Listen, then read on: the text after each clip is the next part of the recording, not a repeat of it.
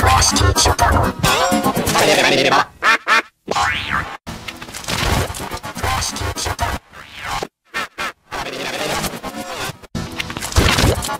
Thank